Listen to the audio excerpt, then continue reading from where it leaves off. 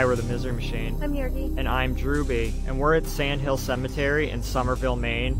And this week we're doing another important missing persons case from the state of Maine, and that's the Ludger Belanger case. Yes, this case has been unsolved since 1975, and the police have not been very helpful in getting any sort of resolution for the family, and we want to use our platform to do so. Yes, we definitely want to see Ludger brought home. It's been since 1975, and the family are still working to this day on it. So if you're listening on YouTube, please hit like and subscribe. Yes, really appreciate all the help everyone has given us so far, but without further ado, the disappearance of Ludger Belanger.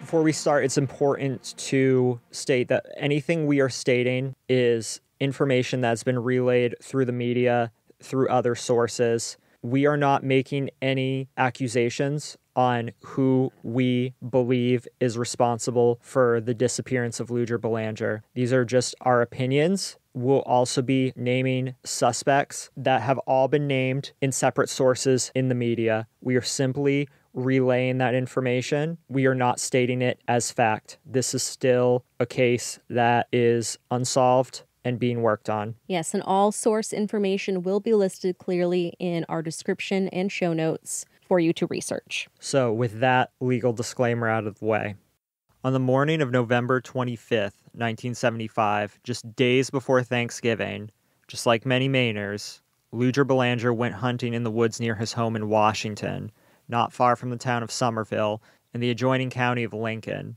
He had set out in the snow covered woods off Route 105 for a last shot at an end of season deer. However, he never returned home. Born in 1950, Belanger grew up in Mechanic Falls, which is not far from where we record our podcast. Maybe like 30 minutes. So, toward the end of high school, he moved with his family to the small Knox County town of Washington, where he graduated from Medomak Valley High School in 1970. He married his childhood sweetheart, Linda, in 1971, whom he met through his sister, also named Linda. Ludger had found work as a heavy equipment mechanic at Bridge Construction in Windsor, working on diesel engines, but at the time of his disappearance was between jobs. By fall of 1975, he had become the father of three young girls.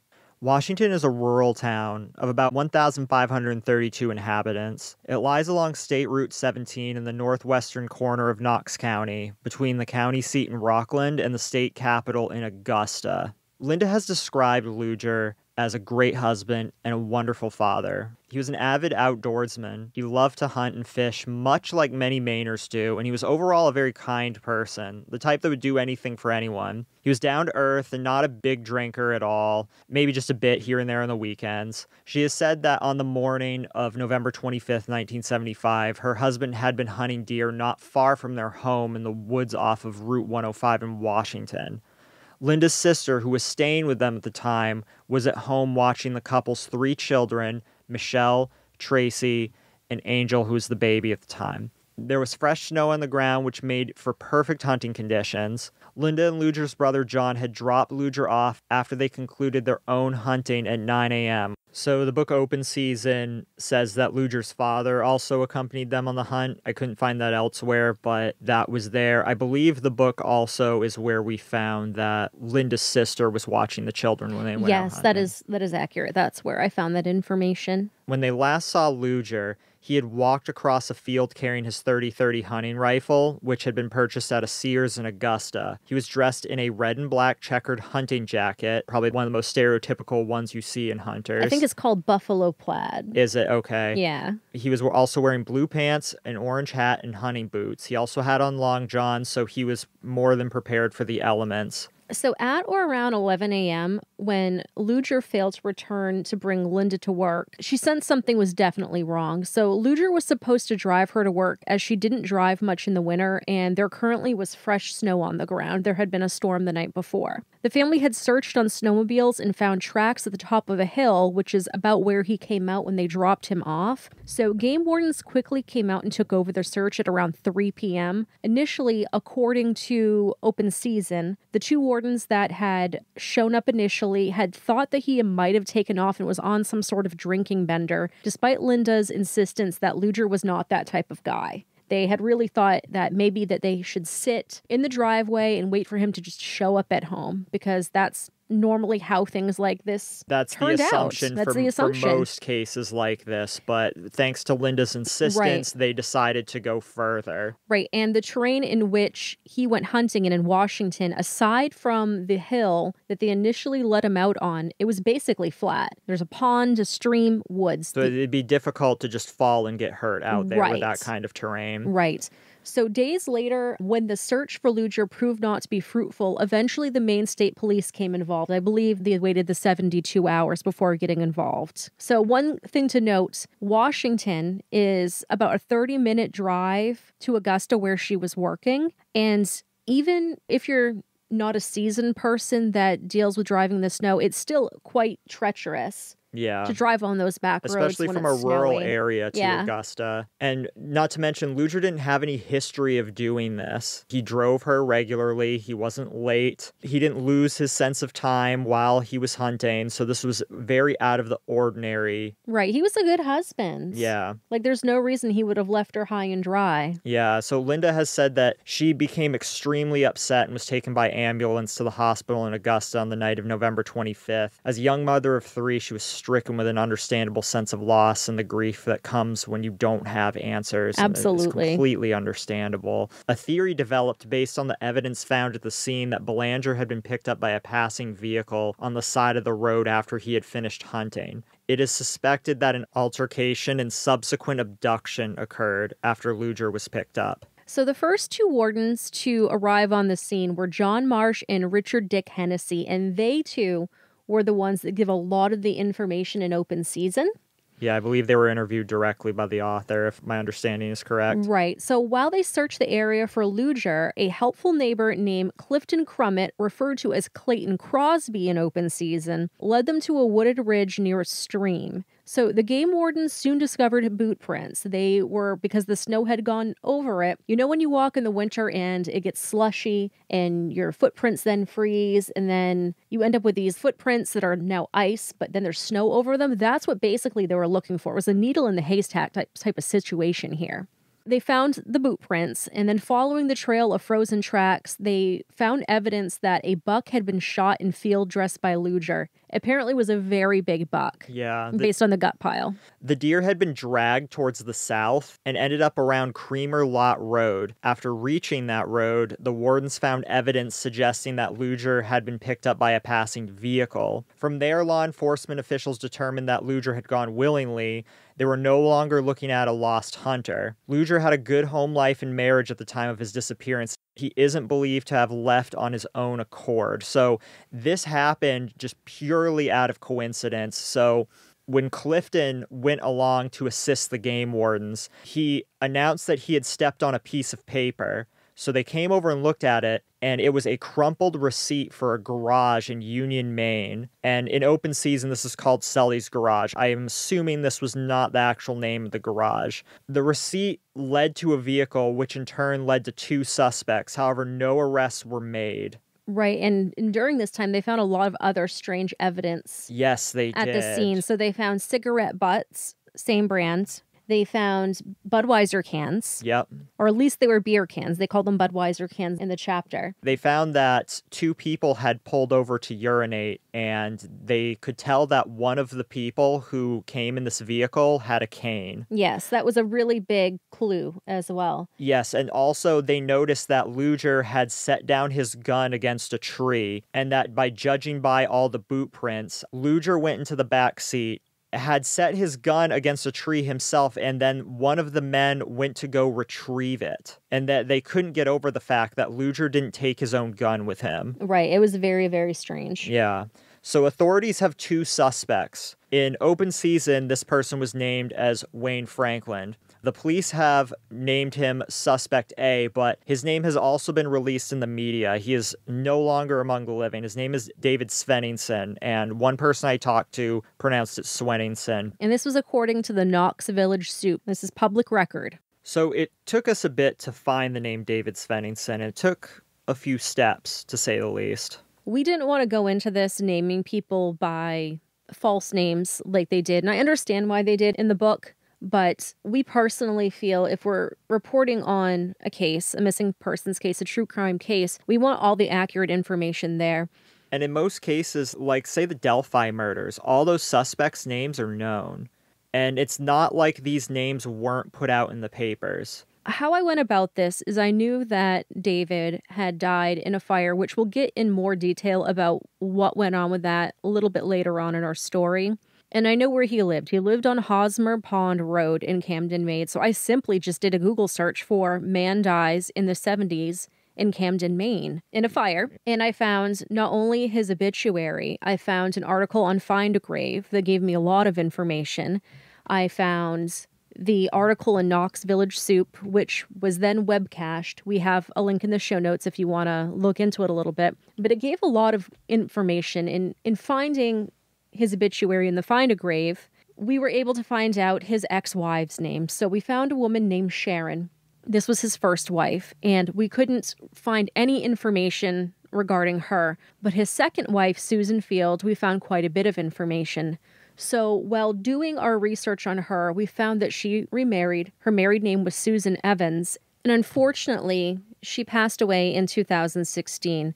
But in finding her obituary, we found that she later in life had a daughter named Danny, who we then found via Facebook, who was still living locally. And we took a chance. We emailed her to see if she had any information, and she thankfully got back to us and was a source of so much information that we can share. Not specifically about Ludger's case, but about David himself, so we can paint a better picture of who he was, what parts are actually fact and what went on with him probably contributed to the case. Yeah, so let's start from the beginning. So, David was born in 1945 in Boston. He has ties to New Hampshire as well, as well as South Carolina, but he spent most of his time in Maine. He enlisted in the Marines in 1965 and did three tours of duty in Vietnam. His release date was September of 1970. At this point, he was honorably discharged and considered fully medically disabled due to being hit in the head with shrapnel and fracturing his skull. After this, he became a guard at the Maine State Prison at the time that was in Thomaston, Maine and his work history was a little shoddy. Yeah, I want to touch on some of the opening conversation that I had with Danny. And I have full permission to do this. We did talk quite a bit at length She's very interested in the case. She did want me to note that in no way is she related to David Svenningsen. That is not a relative of hers, but she's totally okay with me sharing this information. So, you know, I opened up our, our conversation, said who I was, what we were doing, and a little bit about the case. So, what she basically said to me is it's not strange at all. I'm honestly not surprised to hear this. The name David Svenningsen has always, since I was a little girl, equated to something sinister my mother was very religious, and she used to refer to him as the devil. She had severe PTSD and depression because of him, and although she found my dad and had me and tried to lead a normal life, it was a constant struggle for her. I can say from what I know, David Svenningsen would have been capable of this crime. So we went into a little bit more conversation about how David died. So just to kind of touch a little bit on that, and we will have some articles that we found and Danny shared with us. Essentially, what had happened was and there are a few different accounts of this. And this is mentioned in the book Open Season as well. Yes. There was an explosion at his home on Hosmer Pond Road to the point where he was blown out the door and onto the yard. So there's a couple of accounts. So some label this as an attempted insurance scam gone wrong. I don't personally believe this. In my opinion, I think he was trying to kill himself and kill his wife. Right. So he had poured gasoline over multiple places in the house. Allegedly, he had filled up a bathtub full of gasoline. And according to witnesses, they heard a gunshot before the explosion. My guess is he shot something and lit several things on fire. Susan was locked upstairs in the second floor and she escaped out an upper window. So here's what's not mentioned because this is basically covered in the paper. A bystander or a neighbor went over to check on him, yes. covered him up in a sleeping bag, said, It's okay, your wife's okay. And another bystander who wasn't named comforted Susan. But what Susan told Danny is that. I when, can read it. I can actually read this off. Yeah, read it. So My mom told me this story. She had run away from him once, but he found her in Florida and dragged her back. I believe she was planning on running again. He locked her inside their bedroom before he set fire to the house. She escaped from the second floor window. She told me that after the explosion, as he lay on the grass losing consciousness, he saw her walking away from the house and started screaming, No. She felt like he was expressing anger in seeing her alive. This man was so horrible to her that when he was in the hospital before he died, she prayed he wouldn't make it. So, first of all, I have to say thank you to Danny for sharing this information. Being so transparent with us. you, you have single handedly provided us information that has not been recorded anywhere else. And I am very grateful for that. It also gives us more of a narrative and history of what happened here. Also, I just want to say and commend the fact that Susan, enduring all this, still was strong and was able to do the right thing. I can't imagine what it's like to be locked in a bedroom and trapped in a burning building and still being able to escape, to try to flee to Florida from somebody and not being able to get away. Danny mentioned that David had a lot of friends in the police force, according to her mother. And I'm assuming this came about from him being the military, him being a prison guard, but he had a lot of connections with local police. And because of that, she couldn't go to the police, and there wasn't really much she could do. I mean, added to the fact this was the 70s, domestic abuse cases weren't taken as seriously as they are now. Danny actually told me that someone in the police force told her that if you don't stop pissing him off, he's just going to kill you. I can't imagine being trapped in something like that where you have no resources, you have no help.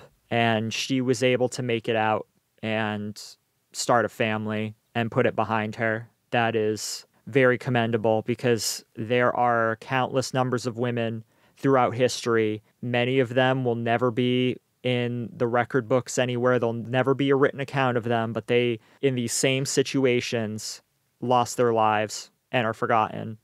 Susan wasn't one of those people, and I'm really happy to hear that that portion of it. So Danny was extra helpful and reached out to her aunt, who was Susan's older sister, to see if she knew anything about Ludger's case, anything at all. She unfortunately didn't, but she had some very interesting information. So this will also back up some of his violent impulsive nature. She says that he got in a fight with her husband at the time over a pool game. So Susan's brother-in-law Right. at the time. And David attacked him and literally bit his ear off.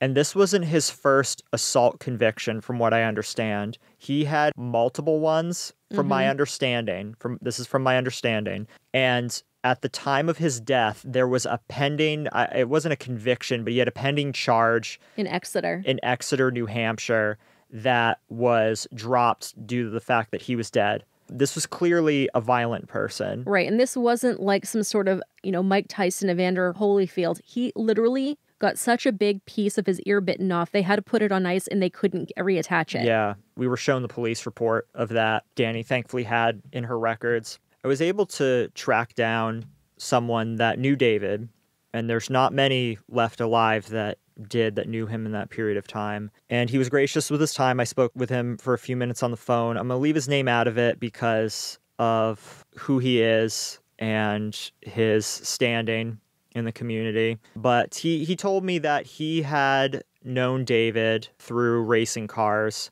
that David helped him as part of a pit crew. He said that while David wasn't a close friend, he wouldn't call him an acquaintance either. He said that he was hard to get to know, a very troubled man, but he found him to be a very kind man. He basically left it at that, said that he had lost contact with David around the time that he had passed away. So that's as much as I got out of that. Yes, and we to give a little background, we got this person's name from Danny. She had a lot of different letters that this person had written to her mother and some of the family members had written back and forth with Susan over the years. She was gracious enough to scan some of these letters for me. Some of them were hard to read and she actually last night transcribed some for me. I really appreciate that. So There is one I can read. One of them I cannot read because it will give information as to who this person is, but I can share one with you that I found, you know, a bit haunting. From a different person, different from who I mentioned. Right. So, Susan dear, I was so afraid that we had lost you, and then your very moving letter arrived. You were the finest thing that ever happened to David, and the tragedy is that he did not find you sooner in life.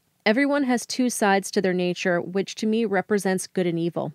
Evil is best portrayed by the seven deadly sins, and good is best portrayed by the example set before us by Christ's life. All of us swing back and forth. We think we are good, but then the evil side of our nature keeps popping up and we seem to go almost out of control. Your David lost control and in doing so paid with his life. It's a lesson you and I and everyone who ever knew him must never forget. We ache because each and all know how truly fine he was. I can see him now great, tall, handsome young man, smiling and always anxious to help.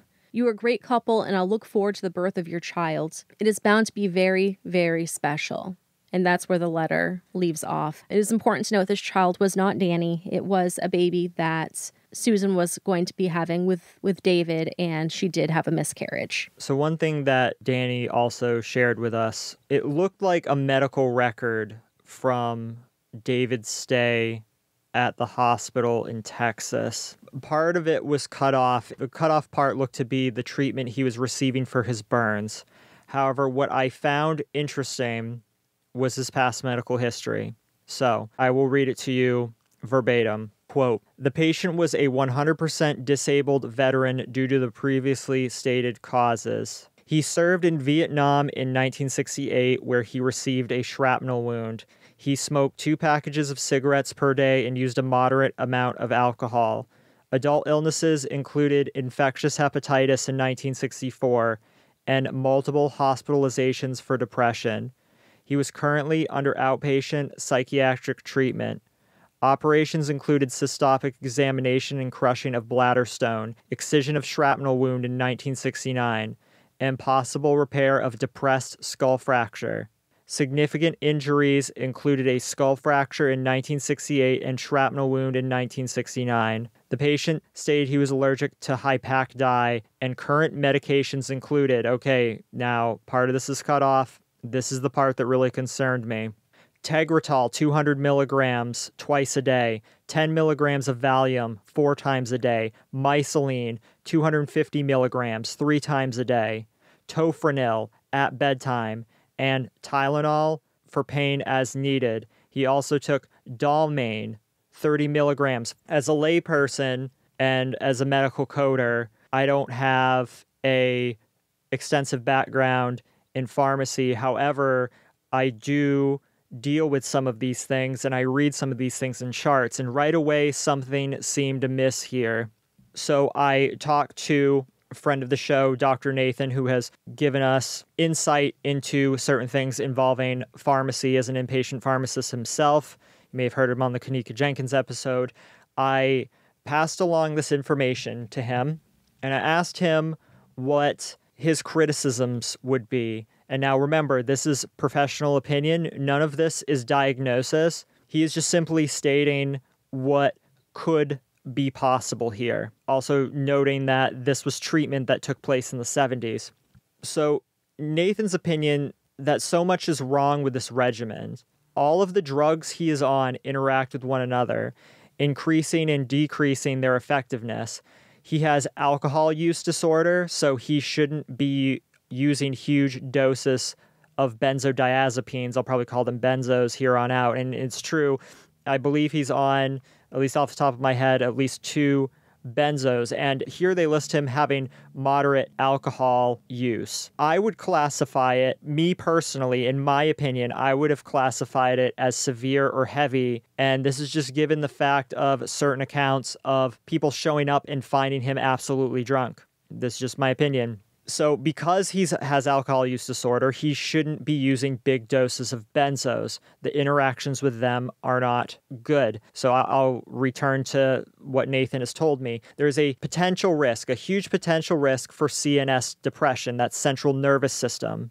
Also, and I've seen this as well, if he had infectious hepatitis, quite often patients that have this is from my me, Drewby's experience with reading charts, if somebody has infectious hepatitis, even when treated, chances are it can become chronic. So, if we assume that that is still an active problem, Nathan says that somebody that has acute hepatitis secondary to an infectious source should not be on Tylenol. And I continue with what he says. It is possible that the TBI, and I, will be clear, if I didn't make it clear earlier, he was combat wounded in Vietnam, trauma to the head, shrapnel wound, skull fracture. I think if this happened in this day and age, he would have been diagnosed with a TBI. I don't feel as if we were that far along then to really diagnose that. This is just my guess from the 70s that it had to be so severe for them to classify traumatic brain injury. I'm not too familiar with the history of TBI or the advancement of TBI diagnosis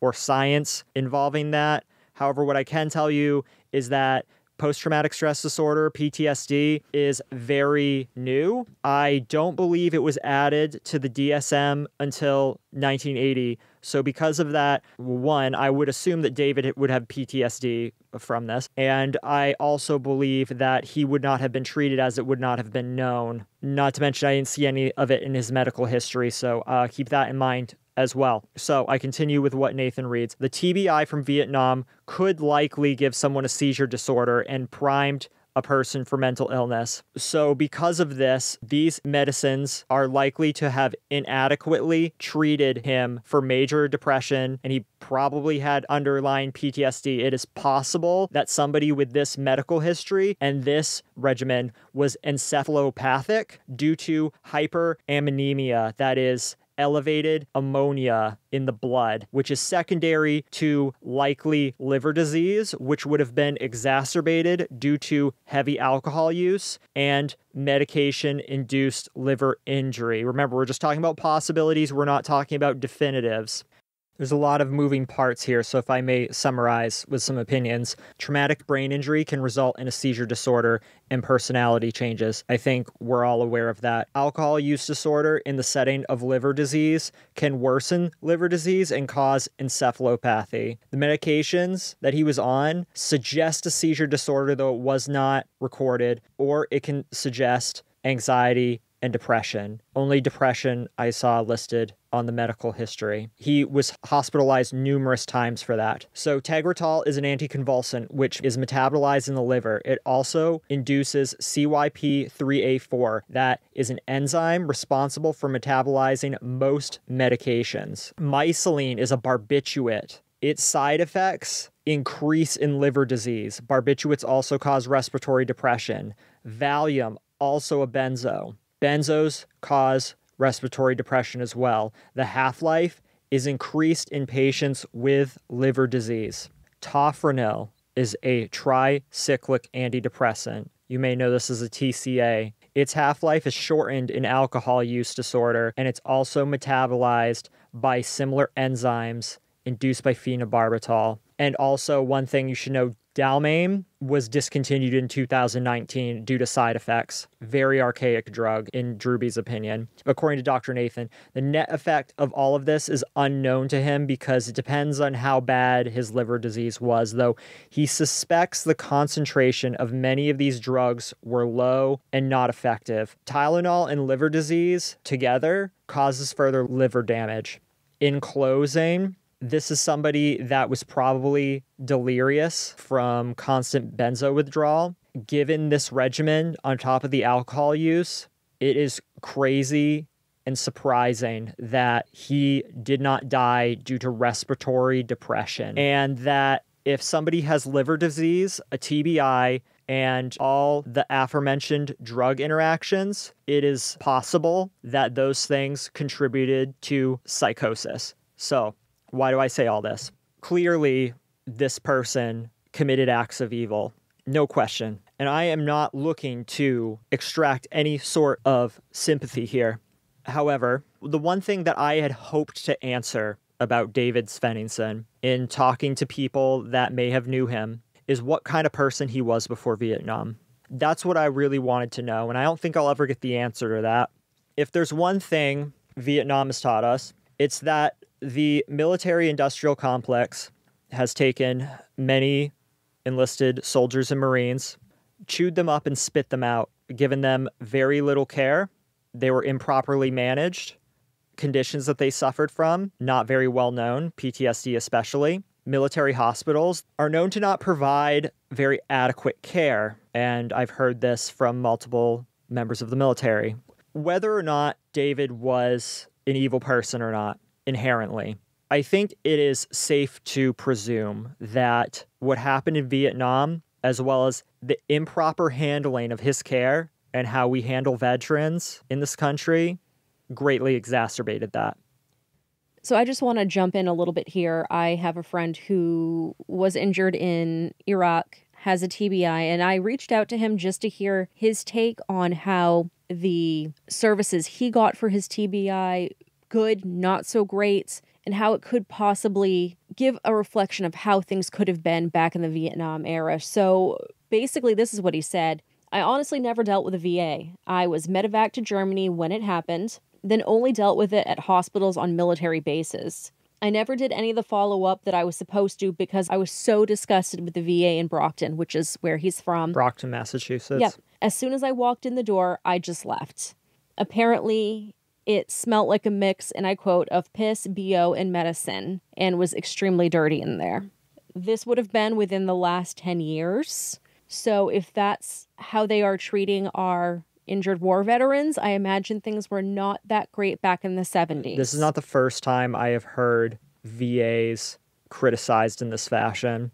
You have another friend as well that will go there for care, and it really depends on the type of care he's getting. Right. He was a Marine that served not during wartime, so he doesn't have a whole lot of issues that would have stemmed from war. But, you know, if he has something that's a little bit expensive that he doesn't want to pay for through our insurance at work, he will go to Togus to have something done. So he will go there to get a tooth pulled, and he won't get anything done there that takes any bit of finesse. Basically, it's because he thinks that they're butchers. So at the end of all this, with the fire, he was taken to Camden Hospital. Susan was released three days later, her burns being relatively minor in comparisons to David, who had life threatening burns. Yeah, it was second and third degree with literally, they said flesh falling off of his legs. Yes. So they realized they couldn't treat him. So they airlifted him to a burn unit. It was the Brooke Army General Hospital in San Antonio, Texas. So there, they sent somebody to obtain a deathbed confession.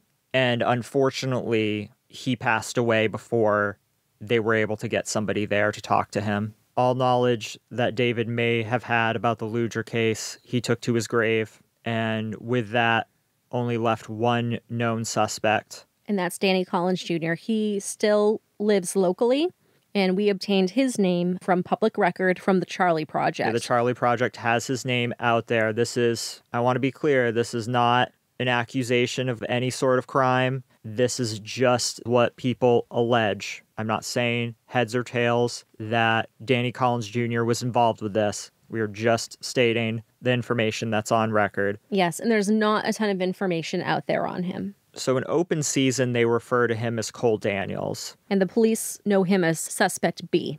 So, Collins allegedly, allegedly confessed the murder to a friend. His name was Charles Christensen Jr. I don't believe he's alive any longer. No, he is not. He is known simply as Chris in the book Open Season. So the confession supposedly happened in 1977. He said Collins and Svenningsen were under the influence of drugs when they picked up Ludger and ultimately shot him to death in the back seat. Christensen also reported Collins allegedly being the trigger man. A meeting between the state police and the Maine Attorney General's office was held January 22nd, 1985, almost 10 years after Ludger went missing. The consensus was that there was not enough information to present the case to a grand jury for possible charges. Detectives began re interviewing people involved in the case. However, Christensen had died by this time. So, what had happened? This was really highlighted in open season, and I have to thank the author for the amount of information he covered because the investigation, I think this is the only place you can really read about it in detail. In detail. There is not a lot of information out there. And I believe I had a conversation with the author. His name is Daren Worcester, and he was a really nice guy. The information he presents in open season was firsthand accounts from Linda and both of the wardens. So any mistakes that might have been said, there was a discrepancy we'll get to. He left in there specifically because he wanted this to be from the perspective of the wardens. And remember, there's been 45 years Yes. since this. So a lot of things can kind of get lost in the mix. Some things can be hazy, and not a lot of people are left alive that had firsthand interaction with these people. So just keep that in mind. So, authorities had examined a car which was found abandoned at an Exxon Mobil in Camden. Well, we should probably talk about this car. So Yes. it was the car in question that picked up Ludger at that road. They had found the car, the car's owner, in this case allegedly being David Svenningsen. And in the book, they they had went to the garage, talked to the person. Sully was his name. Yeah, the garage owner said that David gave him the creeps and was drunk. Yeah, there was apparently a big to do. He just went in there, demanded that right then and there that the car be fixed. It, and it had a busted radiator. He didn't even think he could fix it. Yeah, it was a whole situation where the car was basically junk. So he did what he could do, sent him on his way, and then not long after he showed back up with Collins, basically just drove his car into allegedly the garage. with Collins. allegedly. Mm-hmm. He he showed up with somebody with a cane, gave the description of the character in the book. Right. And had literally driven into the garage and, as he stated, acted like they were a McDonald's drive through and wouldn't even get out of the car. Yeah. So the wardens showed up at David's house. David surprisingly let them inside. In talking to them, this is according to Open Season. This is the only place I have this account. David denied having this car. Then he said he sold this car at a bar. It was a he- bar or diner in Rockland. and he doesn't remember what happened because he was drunk or how much he sold it for. He also said he's never been hunting this year and he's never gotten a deer this season. he had not been in Washington. Then he later, after being pressured, admits that okay, he did go there and that he sold the car afterwards because it was a piece of junk and that he did not have it any longer. Yeah, and that was the reason they had found the receipt. But he didn't see anybody. There was no deer. There was no deer out in that area. And if Ludger had gotten a deer, he gotten the only deer that was out there. Yeah. And so then at that point, they asked to see his hunting clothes, and they did. So one of the wardens went downstairs to see these clothes, and one of the other wardens got suspicious and so, checked the fridge. and checked the fridge. And inside of the fridge or freezer was deer meat. and the deer meat had not been frozen yet. It was fresh. Right. He had also seen some 12 gauge shotgun shells sitting on the kitchen counter. So, for someone who doesn't really hunt, why is that out there? So one of the wardens took one of the packages of meat, understanding that he took this without a warrant and that it may not be admissible into evidence, but took it anyway. Then between this and their accounts with interacting with Svenningsen, they decided to go get a warrant and they obtained a warrant. They came back later the while, next day, while a par- unfortunately. while a party was going on, and not only was all the meat gone, but all the hunting clothes were gone. apparently everybody was drunk. There was a huge party going on in the basement. It was like a ranch style home where when you walk in the front door, technically you're on a landing and you can go down to the basement or upstairs to the living room kitchen area. There's a lot of these types of homes in our area. Yes. But apparently there was a party going on downstairs and there was this locked door that he claims had always been locked ever since he bought the house and he had never been in there. It was in the basement. He said he lost the keys. It, there, it was under a master lock, I believe. So they cut the lock off and they went in there, and it didn't necessarily look like it hadn't been open in a while, though there was a lot of dust. Though that what they did notice in there, it was mostly empty, but they noticed the sights from a 30-30 rifle. Okay. They found an imprint of what could be a 30-30 rifle and found the sights which matched sights that would have been purchased at the Augusta Sears. well at a Sears in general. Right. They couldn't confirm the exact Sears, nor did they have the technology then to confirm that it was Ludger's rifle. However, Ludger did purchase his 30-30 hunting rifle at the Augusta Sears. Yes, so that's all they had. Because of this and because everything being gone, there was nothing they could work with. The last shred of information that they had left was the car, which they ended up finding later. It was abandoned at an Exxon Mobil in Camden, according to where'd you find that? Was that the Knox soup? Yes, yeah, so I found that information in the Knox Village soup. I had also heard an interview with Linda where she had accounted for it being found on the side of the road. Now, in open season, it is claimed that it was found on private property in Northport. However, I talked to Daren a little bit about this, and he went over his notes for me and confirmed that the police report did confirm that the Camden Exxon Mobil story. However, since he was writing the chapter from the perspective of the wardens, he went with the warden's account.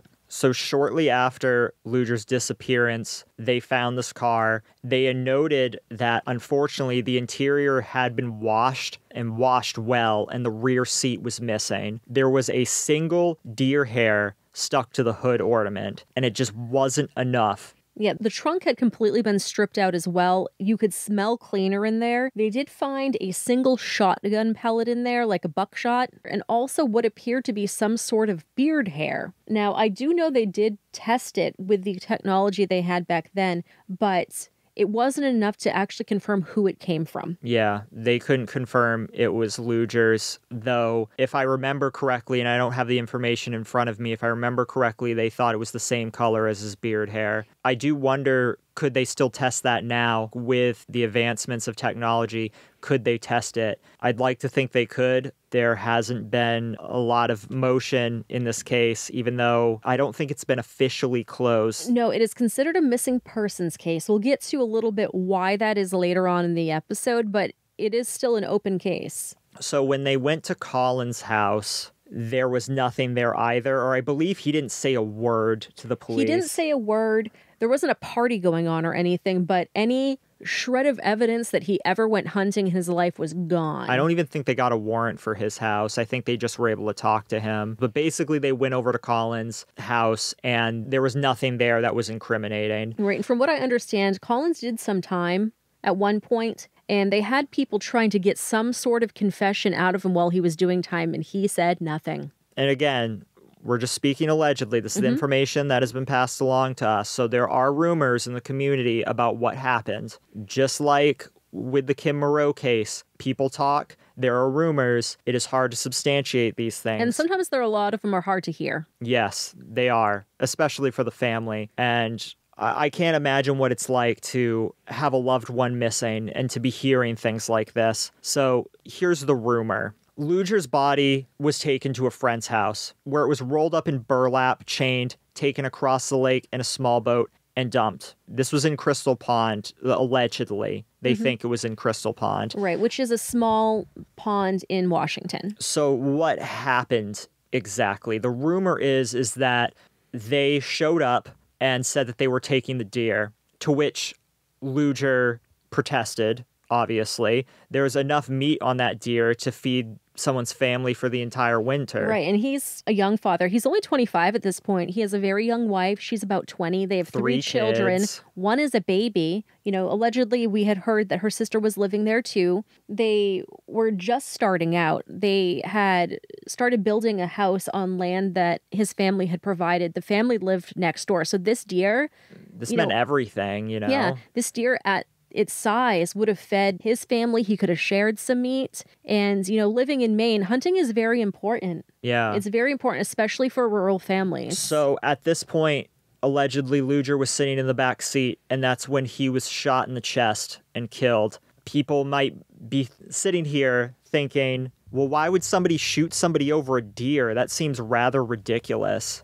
But unfortunately, this is not the first time this has happened. You think about how generally in Maine these areas are very poor. People rely on this. People's incomes are unreliable or potentially seasonal. Having that much deer meat can be almost life or death for it some people. It really can. My family that does hunt, it's not like a life or death thing. They just prefer to feed their family that way. That deal will last you all year and not have to pay that at a grocery store. That literally could be everything for a family. It really could. So just keep that in mind exactly where this took place when you start to think, well, no one would shoot someone over a deer. Yes, they would. So the family has arranged searches privately. They use cadaver dogs and professional trackers to locate Ludger's remains. A dog named Quincy, owned by one Julie Jones, actually had a hit at Crystal Pond. However, Quincy passed away while they were waiting for the lake to lower in the spring as it was too deep to conduct a search. Other dogs were used, such as a bloodhound, and the family and other searchers would go out on the lake in boats with the dogs and metal detectors. State police have allegedly told Linda to back off. By her own admission, they threatened to press charges against her for hindering an investigation. Linda herself, I can't even believe this, does not have access to her own husband's case file. I, I have never heard of that before, and that is disgusting. If anyone in the family should be allowed, obviously it would be Ludger's widow. Right. I'm so shocked by that. It's about much like the Kim Moreau case. A television crew allegedly wanted to cover Ludger's story. However, then Attorney General and now Maine's governor, Janet Mills, allegedly shut the production down and threatened legal action against the production company, according to the family. A retired FBI couple living in Maine also wanted to do their own private investigation into Ludger's case, free of charge, but the state blocked their involvement, allegedly. Allegedly. And this is not the first time we heard this. If you listen to our Kim Moreau case, which you should if you haven't, this same thing happens. And this is just It's uh, uh, infuriating because things like this, when you have outside film crews come in at a national level, that's when things get solved. yeah. When the heat is on. Maine has a history of doing this. The Ludger case and Kim Moreau's case, those cases combined represent perfectly my problems with how missing person cases and murder cases are handled in Maine. It's just reading this, it sickens me. It's disgusting. I can't imagine how the family must feel. Just this feeling of helplessness is what I can imagine and hopelessness. The sad thing is, in my opinion, the state could have done so much more. And when I look at this, in my opinion, the wardens did so much more to potentially solve this case, to further this case along than the state police ever did. And they often do. They really, when it comes to rural communities, the wardens generally, and they, they have a huge caseload. And it's it's not even the warden's job Yeah. either, but they did great work. They even brought out people to help search for Ludger who did it free of charge Right. that were in the warden service themselves. They did as much as they really could with They did the more than they could, you they know. have. They did more than their jurisdiction almost. Right. During this same time, there was a apparently or allegedly a huge deer smuggling operation going on that was taking up a lot of the warden's time. And that's per open season. And they didn't have a lot of, you know, available resources for things like this. You know, it is a very busy time of year with people going missing, especially at end of season. Late November is basically when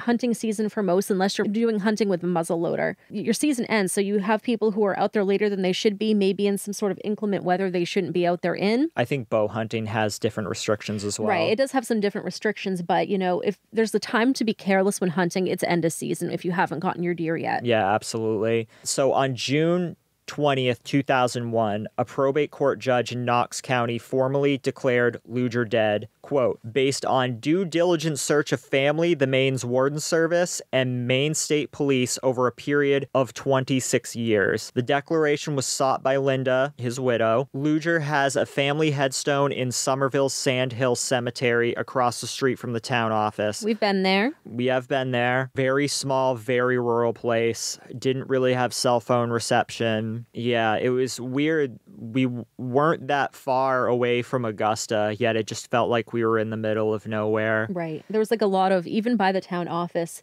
for a road that was very rural, it had some traffic. It did. It did. There was more traffic than I thought there would be, and it was traffic going towards dirt roads and we saw a lot of people hunting. We started early in the morning. Anytime we do any road trip, we like to do it early right now, you know, in hopes that there won't be as many people out due to to COVID. But we saw a lot of people once we hit Somerville, Washington, coming back with like their hunting hats out on their dashboard. So we could have just gotten unlucky, but I feel like even driving around certain places, we got a lot of funny looks. So if this was a typical thing, I would assume then that a lot of people driving in that area are locals. Mhm, They all know each other. And yeah, and everyone knows each other, so we were like clearly recognized as outsiders Who are these almost strange immediately. people in the Forester? Yeah, Yes. so just kind of giving you some idea of what this general town in the greater Somerville, Washington area. Linda still lives in Washington. It's only a short distance from the spot where Ludger vanished. His daughters, Michelle, Traci, and Angel, have all grown up and started their own families, and many of his grandchildren are also avid hunters. Yeah, there was a picture that I believe it was Linda. She might have posted on. She has a Facebook page that the family runs.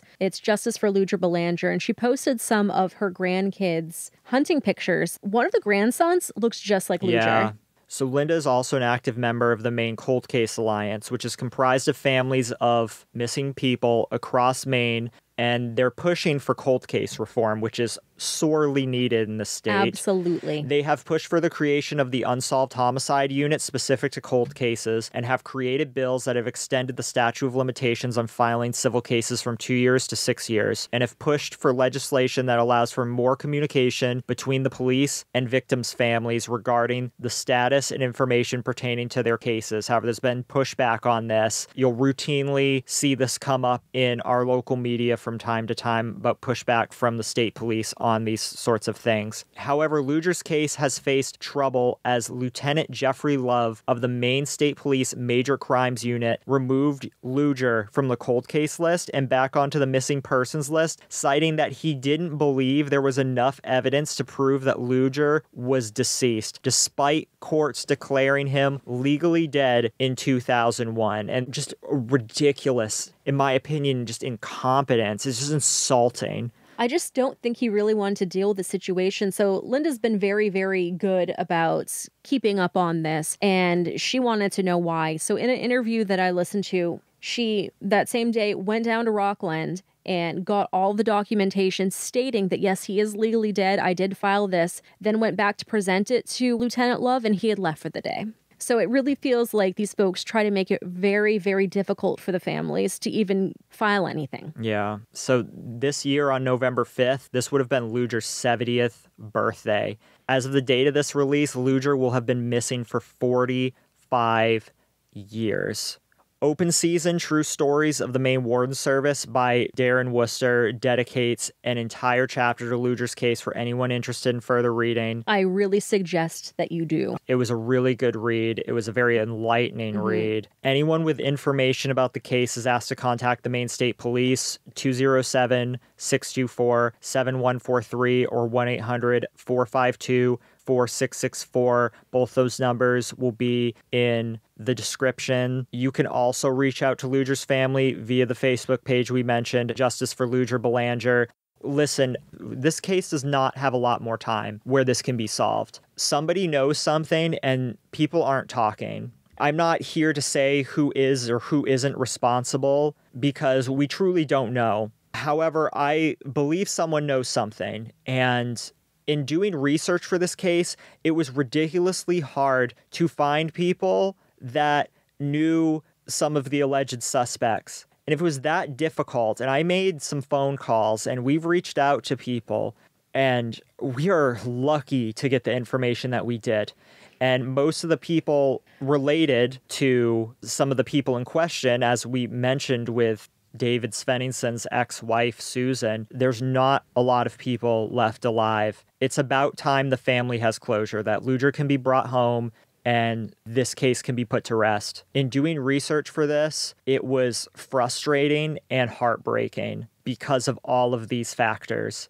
And if I felt that way researching this, I can't even begin to imagine how that feels for the family. Please, if you know anything, anything at all, no matter how insignificant it is, it could lead to something bigger. Please contact these numbers. If you have to, reach out to us and we can relay it. But say something, do something. Yeah, this doesn't have much time left. Linda, Traci, Michelle, Angel, you're in our thoughts. We want this to get solved for you and your family. You know, his mother passed away without knowing what happened to her son. She's buried in the plot that they have Yeah. over in Somerville. And that's just not fair. Your kids are not supposed to go before you. And if they do, you should know what had happened.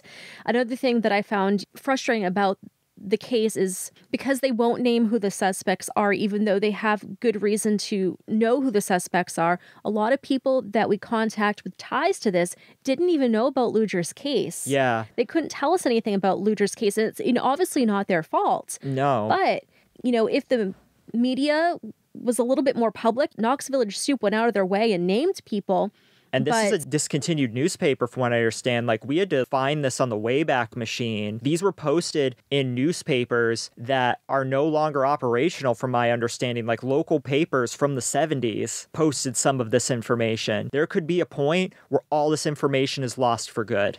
Yes, we're going to definitely find a way to get this information out there. The articles that we have, again, we're going to link everything that we can in our show notes. We have some clippings that Danny was gracious enough to scan for us that will get into the YouTube episode. I will find another way, either on our Facebook page or in some way, to get these posted up Yes. so that they're not lost. Yeah, we don't need this to be lost in history. And that's unfortunately what we're facing right now. Right. And, you know, if any other podcasts that are interested in the case are listening to this and want to try to research this further and kind of go off of what information we have, please do so because we. and reach out to us we will we will help you however we can we will be openly transparent about our process about the things we can be transparent about which is most of it we will help however we can because this needs to come out. I think as of this recording, we are the first podcast to actually name who the alleged suspects are as far as podcasts are concerned. There Right. are other there are other websites that have done it, but we are the first podcast to do this,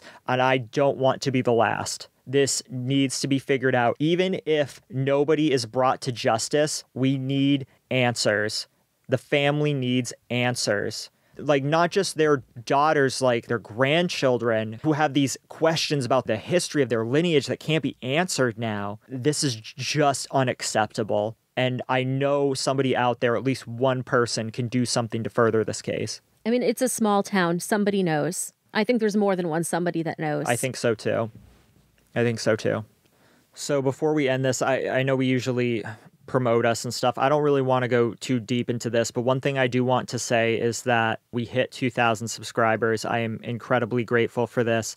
A lot of this happened very quickly in the past couple of weeks. If you're here and you haven't done that yet, hitting like and subscribe goes a long way for us in the YouTube algorithm. But it, it, a more important piece of this. Yes we have 2000 subscribers and that platform we can get the message of this case out. What we can't do unfortunately is go beyond that. And i i sit and i wonder just how much further we could push awareness of this case if we had double triple quadruple a hundred times the platform a hundred times the amount of subscribers that we have would this make the difference in getting the case solved? I, I wonder that. I think about that with the Kim Moreau case. Like, if we had a bigger platform and we got this out there, would it ensure it got to the person that could help these cases be closed?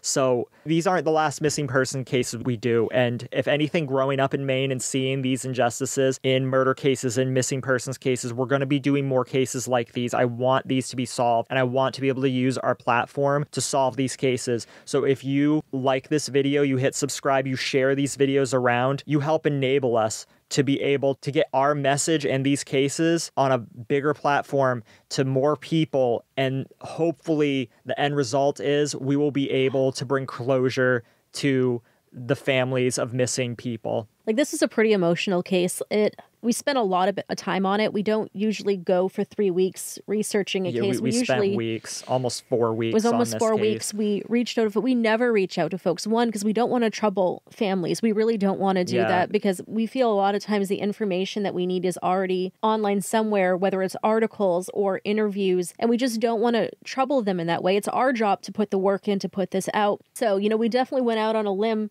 and we normally don't do that. Reaching out to complete strangers, cold calling people. I knew if I hadn't made those phone calls, I would have regretted it for the rest of my life because looking through all of these notes, I knew that there was pieces missing and I knew that there was a chance that I could fill in some of these pieces if I contacted certain people. You know, Yergy contacted people. We are now able to at least shed light, maybe not directly on the Ludger case, but on one of the potential suspects who is no longer with us. And you may ask, what's the point of this? It helps at least complete the picture of what happened. If somebody cannot be brought to justice in this case, at least to be able to understand what happened, why it happened, who these people were, that's the closest we can get is in providing answers. That and in doing this and in calling people and reaching out, it gets people asking questions. Yes, yes, it does. So that's my one plea for you. If you made it this far, I very much appreciate that. If you could help us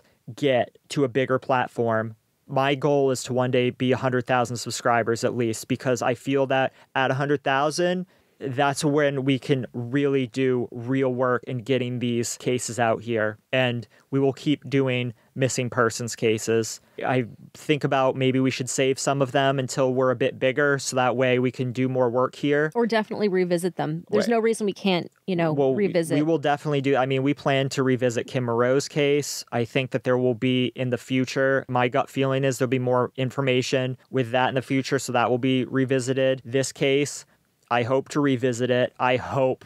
I hope in the pit of myself that something comes of this. So if you can help us, the very least you can do is hit like and subscribe. And so with that, I will also thank the patrons Eddie, Rowan, Marky, Holly, Ashley, Vu, Anna, Serena, Chloe, Mark, Tara, Sophie, Karen with an EA, and Neil and Karen. Thank you so much for going that extra step to support us. also, Levi. And Levi, thank you, Levi. And we will put up Levi's picture right now. We didn't include it in the beginning because of the seriousness of this case. Normally, as the highest tiered patron, he gets his own special section at the beginning, but due to the nature of the, this case, Mm. Yes. I'm sure he would understand that we're doing it this Yeah, way. Yeah, so here it is at the end, and all of the honoring of Levi is in the description. I'm just gonna leave it at that. If you do want to become our patron, patreon.com slash the misery machine. And again, a very, very special thank you to Danny. You have been so helpful in getting some information about this case, information that ties this case out. You have done something that no one else could have done at this point. You have provided information that we now can put out there that hasn't been able to be put out there before and I I thank you so much for that for being gracious with your time and your energy and helping us with this. I also want to thank Daren Worcester, who wrote Open Season, for being very generous with his t- time too, answering some questions that I had. Being transparent being about the research. you know, going into his notes for me, just like at a drop of a hat. So Yeah. thank you so much. And everybody, please read that book. You know, I'm not even a very big reader, but I was glued to it. Yes, it, it was written very well. And again, there's information in there that you just can't find anywhere else. So if you want to know more about this case, I highly suggest picking it up. So, with that out of the way, until next week, We love you. we love you. Bye.